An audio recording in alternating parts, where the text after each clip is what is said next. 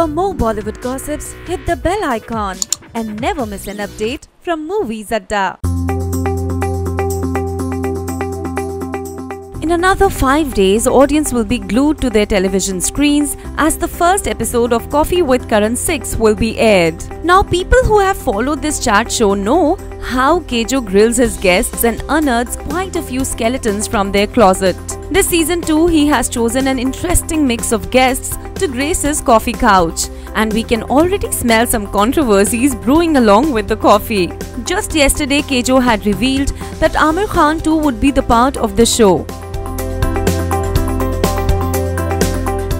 And Karan also shared an image of Aamir sitting on the coffee couch sipping his coffee. He captioned this image Aamir Khan in the coffee house. Koffee with Karan, Star World India, Hotstar. Some crazy banter, and I played the raps fire with him. Malaika Arora Khan official was the master and the judge of that round. Well, well, well. So now with this post, Karan has clearly hinted that not just Aamir Khan, but Malaika Arora too may be part of the show. Now, wouldn't this make for an exciting episode? Do let us know by commenting in the section below.